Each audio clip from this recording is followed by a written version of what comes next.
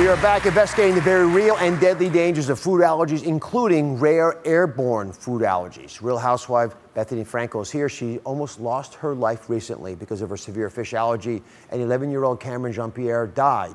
He died after inhaling allergens from fish cooking at his grandmother's house. Very innocent, very safe stuff. Again, thank you for talking openly about a problem that a lot of us are ignoring or underplaying. Allergist Dr. Tania Elliott is here.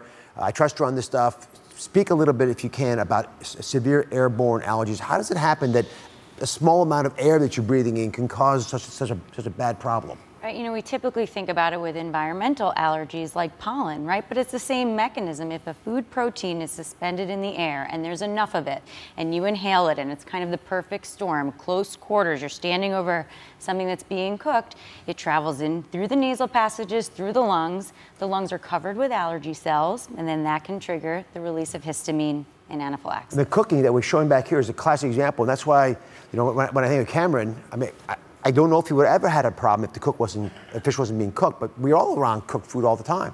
You and, smell it off a grill. It's coming off that yeah. off a grill. I've gotten itchy from being near a grill. And it's not just fish allergies, right? You can have inhaled problems with other types of products as well. Fish, shellfish, but you also things things we don't cook like wheat flour. Right. All right, so come on over there. There's some causes why people are developing food allergies well into adulthood. These stunned me. Explain this to me if you don't mind. Right, and so Shellfish in particular is an allergy that we see more in adulthood. And the leading theory is there are two major risk factors. One is the use of alcohol over time, as well as chronic use of antacids. So the theory is that it impacts the acidity in your stomach and the way that you break down certain foods. And for whatever whatever it is, shellfish is one that gets impacted the most. And so suddenly now the protein is broken down a little bit differently, again because the pH in your stomach is different from things like this.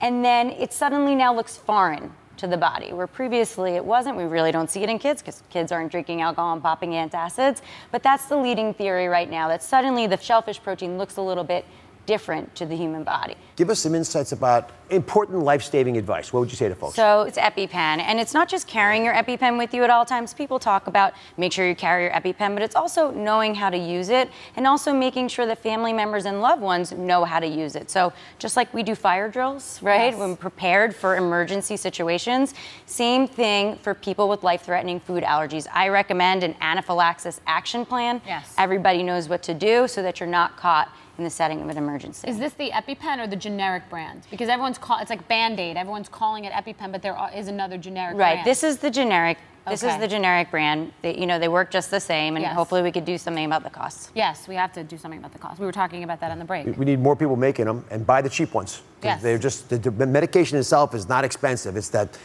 putting it in this packaging that costs all the money, and it shouldn't cost. We don't think what it should cost.